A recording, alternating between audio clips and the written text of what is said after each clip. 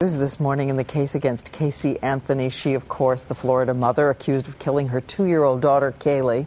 Her attorneys have filed motions saying the prosecutors cannot prove it was first degree murder. What is this new evidence? Here's Andrea Canning. Good morning, Diane. And the state released over a thousand new pages of documents this week that show some inconsistencies in FBI findings relating to the scientific evidence in the case.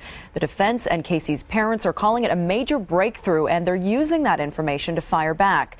But the prosecution maintains Casey did it, and as of right now, they are not dropping any of the charges. Casey Anthony's attorney, Todd Macaluso, is so convinced she didn't kill her daughter Caylee, he asked this week for the murder charge and the death penalty to be dismissed. Not a single hair fiber, not a single fingerprint, not a single speck of DNA that in any way connects her to the crime scene or the scene where her daughter was found. The FBI concluded the duct tape found on Caylee's mouth and tape found in the Anthony's garage may have come from the same roll, but newly released state documents show otherwise. Extensive analysis was done, and it's mostly a microscopic and a chemical analysis, and they do not match. The reports also show DNA from a lab technician contaminated that duct tape.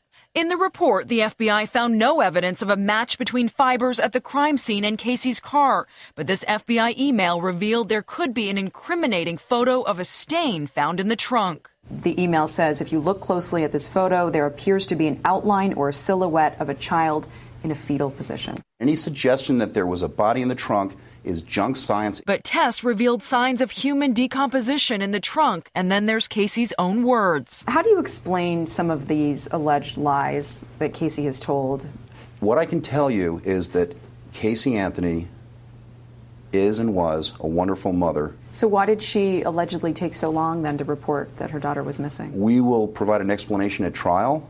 A trial that is still months away. Her defense admits finding an impartial jury could be the biggest challenge of all. For Good Morning America, Andrea Canning, ABC News, New York. And the new records also included dozens of email exchanges between Cindy Anthony, Casey's mother, and a private investigator. In one bizarre email, Cindy accuses Casey's ex fiance's father of having weird religious beliefs that might have led him to human sacrifice rituals. So, Diane, so many twists and turns in this case, but really so few answers in the end. Uh, well, uh, but clearly they're going to tackle the science as the main way of defending her. This is the defense's defense, the science, that they're going to prove that she didn't do it through that. That's what they, they claim. All right. Thanks to you, Andrea.